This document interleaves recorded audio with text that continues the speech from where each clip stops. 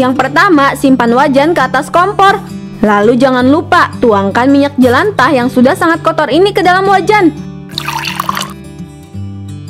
Loh, emangnya nggak bahaya kalau goreng basreng menggunakan minyak yang sudah sangat kotor? Hmm, aku rasa sih nggak apa-apa ya. Lagian juga kalau bahaya yang makan kan bukan aku, tapi orang lain. Hahaha. Sekarang tinggal masukin deh basrengnya. Lalu habis itu goreng sampai kering.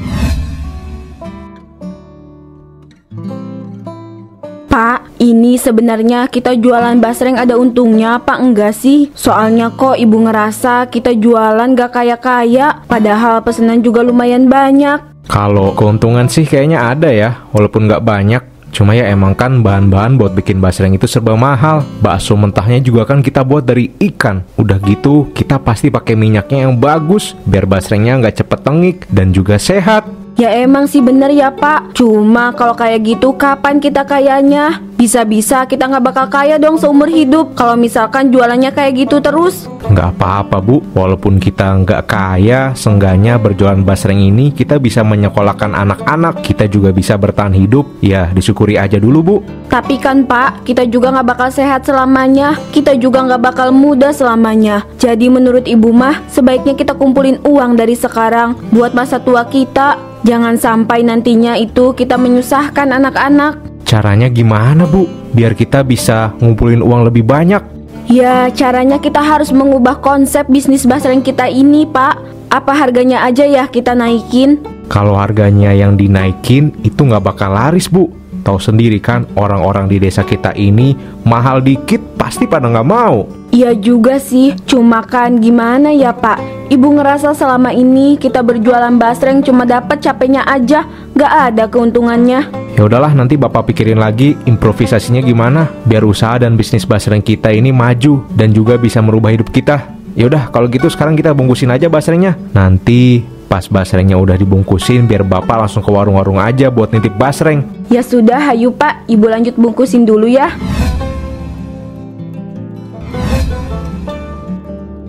Huh, akhirnya selesai juga. Capek banget sih ya. Dari tadi beres-beresin basreng, dari mulai motongin, ngegorengin, ngebumbuin, sekarang bungkusin. Nyari duit susahnya kayak gini, giliran aja ngabisinnya. Cepet banget perasaan.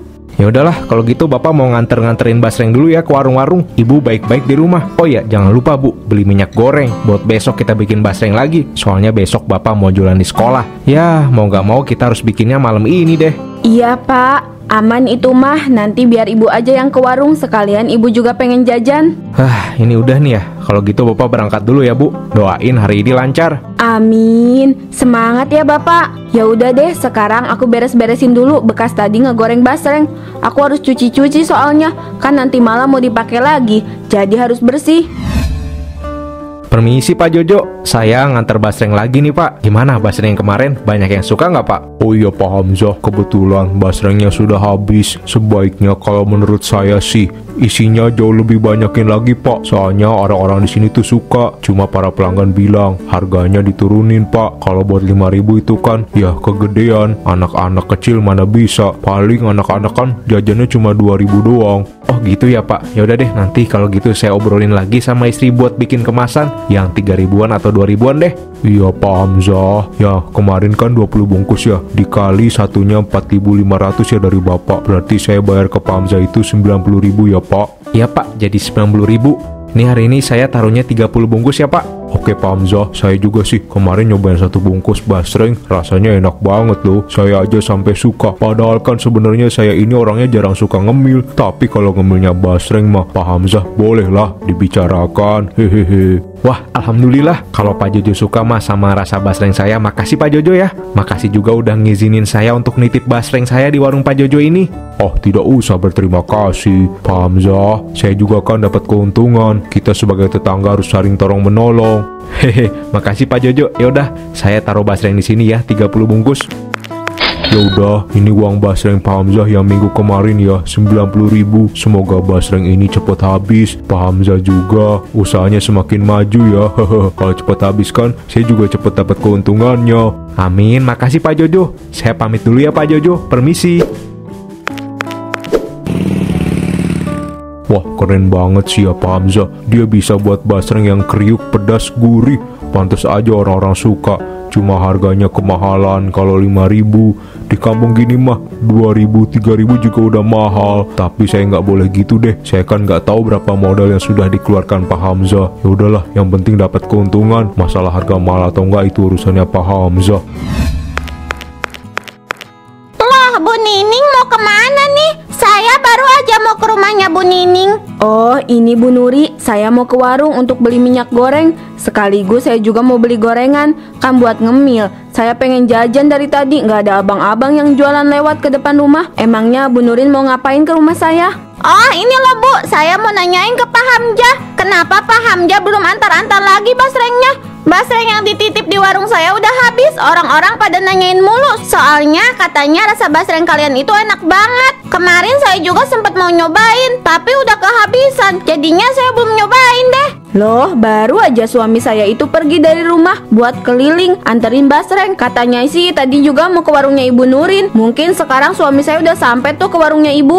Oh, begitu ya, Bu. Aduh, saya nggak tahu sih. Ya udah kalau begitu saya balik deh, soalnya takut Pak Hamzah ke sana. Kan saya harus bayar basrengnya yang minggu kemarin. Ya udah saya duluan ya, Bu. Permisi.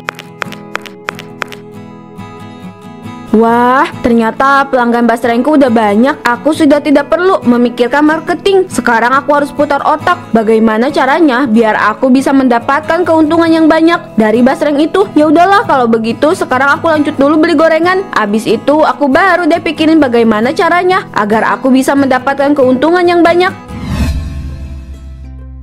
Pak, gorengannya udah ada yang matang belum? Oh iya sudah, tapi sebentar ya Bu, biar lebih garing lagi nih Itu minyak apaan, Pak? Oh ini tuh minyak jelantah bekas gorengan. Sayang banget ya Padahal masih bisa dipakai. Cuma kalau saya mah jualan gorengan Kelihatan sama orang-orang pakai minyak bekas gini. Wah orang-orang pada komplain. Ya mau nggak mau harus diganti. Kalau saya jualannya di dalam rumah kan nggak kelihatan. Gak peduli juga pakai minyak apa. Kan lumayan ya daripada beli minyak mulu Kan keuntungan kita berkurang. Loh, kok kayak gitu sih, Pak? Emangnya nggak apa-apa minyak bekas itu dipakai lagi? Ya nggak apa-apa bu Lagian juga kan Kalaupun emang katanya nggak higienis Dan bikin batuk-batuk Yang penting kan gorengannya matang bu Kalau penasaran Ibu coba aja Ini juga banyak banget Saya bingung mau diapain Hmm, ada benernya juga nih Kang Gorengan. Kenapa aku nggak beli aja nih minyak jelantah? Gak apa-apa udah kotor. Kan orang-orang gak bakal ngeliat waktu aku goreng basrengnya. Jadi orang-orang gak bakal tahu kalau aku goreng basrengnya itu pakai minyak kotor. Bu, kok malah bengong bu? Mau berapa bu gorengannya? Oh iya, saya mau gorengannya 10.000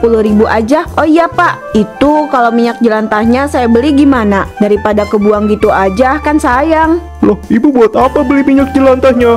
Oh ini pak, suami saya kan kerjanya di bahan-bahan biodiesel gitu Jadi minyak jelantah bapak ini mau saya pakai buat bahan bakar biodiesel Oh ya udah bayarin aja bu, lumayan bu, 10 ribu buat beli makan daripada kebuang gitu aja kan. Nah ini uangnya ya pak, 20 ribu. Gorengan bapak 10 ribu. Sama ini buat bayar minyak jelantahnya 10 ribu. Makasih banyak ya bu. Ya sudah pak, kalau begitu saya pulang dulu ya.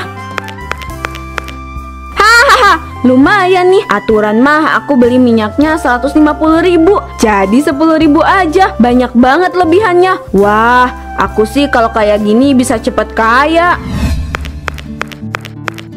Loh bu, itu ibu bawa apaan dah? Ini loh pak, ibu itu habis beli minyak. Kan tadi bapak suruh ibu beli minyak. Kok minyaknya kotor begitu bu? Ya wajar lah pak. Kotor. Orang ibu belinya aja minyak jelantah bekas gorengan. Lumayan pak. Kita bisa ngirit. Kan biasanya kita sehari-hari mengeluarkan uang 150 ribu Untuk minyak goreng saja. Sekarang ibu hanya harus mengeluarkan 10 ribu Untuk minyak goreng sebanyak ini. Loh, tapi bu, itu kan pasti dosa bu. Masa mau pakai minyak kotor? Nanti rasanya nggak enak loh. Orang-orang jadi nggak mau beli lagi basreng sama kita. Ya ampun pak Bapak ini ada-ada aja deh Basreng itu yang bikin enak kan bumbunya Bukan minyaknya. Kalaupun kita pakai minyak kotor Orang-orang gak bakal ada yang tahu. Cuma kita berdua aja yang tahu. Lagian gak apa-apa sih pak. Kapan lagi coba usaha kita berkembang? Kalau misalkan untungnya cuma sedikit aja. Kan kalau kayak gini kita bisa jadi cepet kaya pak. Ada benernya juga sih kata ibu. Tapi nanti kita coba dulu deh. Goreng basreng pakai minyak yang udah kotor ini. Kalau hasilnya tetap bagus Kita pakai aja minyak kotor setiap hari.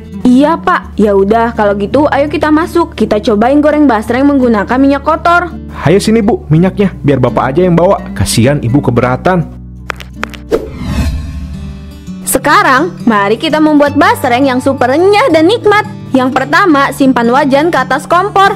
Lalu jangan lupa tuangkan minyak jelantah yang sudah sangat kotor ini ke dalam wajan.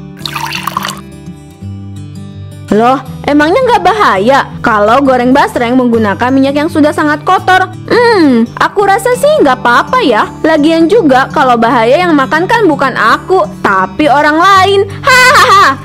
Sekarang tinggal masukin deh basrengnya. Lalu habis itu goreng sampai kering.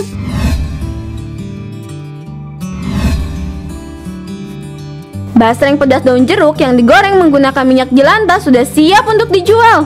Nah, gimana nih Pak? Hasil gorengan basreng yang kita goreng menggunakan minyak kotor. Bu, hasilnya bagus banget. Sampai-sampai nggak kelihatan nih bu. Kalau kita gorengnya pakai minyak kotor. Kan? Apa ibu bilang? Coba aja kalau dari dulu kita menggunakan cara ini untuk berjualan basreng, mungkin sekarang kita sudah kaya raya. Iya juga ya, bener kata ibu. Coba aja dari dulu kita jualannya pakai minyak yang udah jelek ini. Pasti kita sekarang udah kaya. Uang kita udah nggak bisa dihitung saking banyaknya. Gak apa-apa pak. Walaupun sekarang kita telat menyadari, yang penting kan kita tetap melakukan itu. Jadi walaupun kayanya tertunda, kita bakal tetap jadi orang kaya pak. Hahaha. ya udah bu, kita istirahat dulu yuk. Iya, hayu pak. Pak Jojo, itu saya taruh dua ukuran ya. Ada yang 3000 sama ada yang 5000. Wah, Pak Hamzah, baik hati sekali ya. Mau menuruti kemauan customer dan menurutkan harga agar semuanya bisa membeli. Udah kewajiban saya, Pak, sebagai penjual. Kita harus mengikuti apa maunya pelanggan. Karena kan pelanggan adalah raja. Wah, emang Pak Hamzah ini orang yang benar-benar baik. Tadi itu Bapak naruh berapa ya? 30 yang 3000, yang 5000 50 biji ya? Ya pak, uang yang minggu kemarin berarti 30 dikali 4.500 ya pak, jadi 135.000 pak. Oke Pak Hamzah, ini uangnya. Yaudah, makasih Pak Jojo, saya pamit dulu, permisi.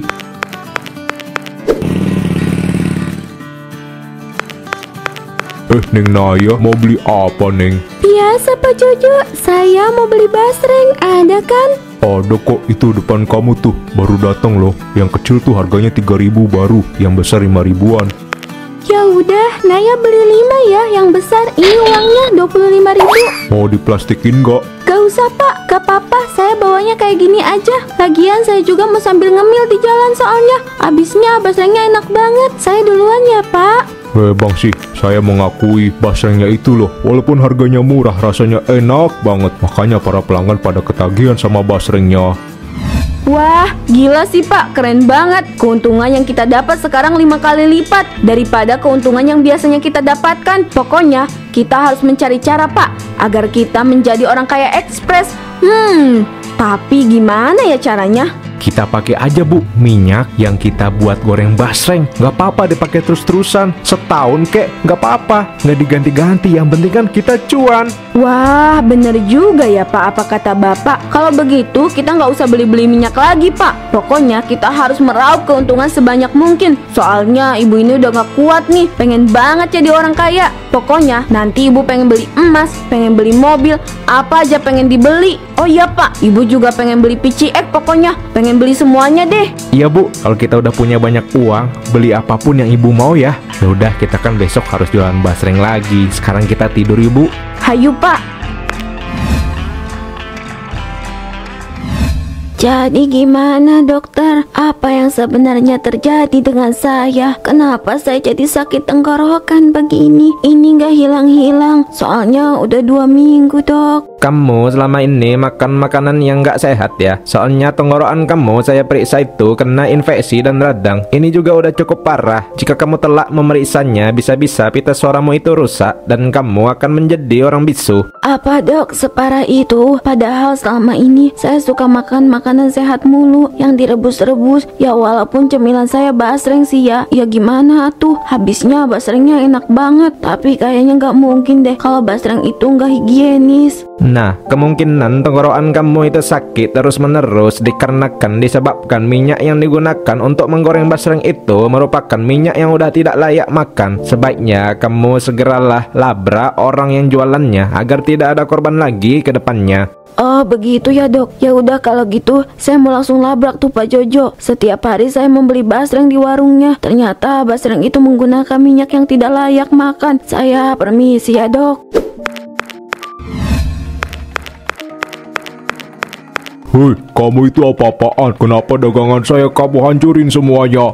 Pak Jojo, ternyata selama ini kamu bukanlah penjual yang baik. Kamu ternyata seorang yang menjual basreng menggunakan minyak kotor yang sudah tidak layak makan. Sekarang gara-gara itu saya jadi terkena penyakit tenggorokan.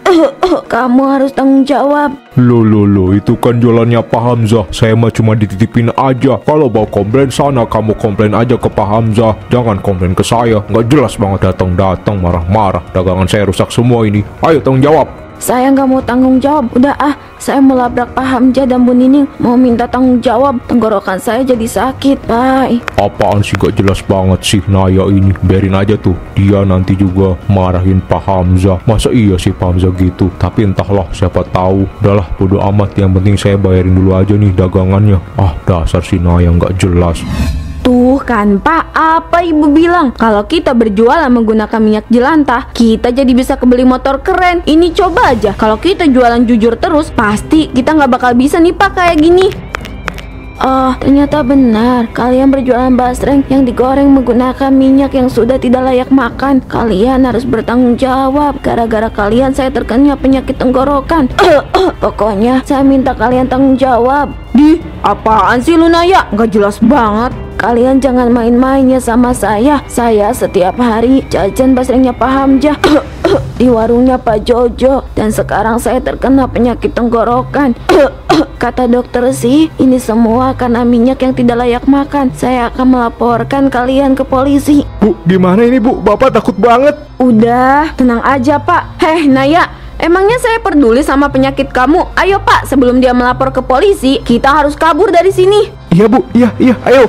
Eh Bu Nining, Pak Hamzah tunggu. Kalian harus tanggung jawab. Oke nggak apa-apa. Mungkin kalian bisa menghindar dari hukum di dunia. Tapi aku yakin Allah pasti akan membalas perbuatan kalian Pak, untung aja semua uang kita sudah ibu masukkan ke rekening ibu. Jadi kita bisa kabur deh dari sini. Kita akan memulai hidup baru di tempat baru, Pak. Ibu ini emang pinter banget deh Bapak salut sama ibu Bu, bu, ini kok hujannya minyak gini bu Minyak hitam Gimana bu ini licin motornya bu Bu, bu, motornya oleng bu Pegangan bu Pak, Pak, awas loh, Pak. Bawa motornya hati-hati, Pak. Ibu takut, Pak.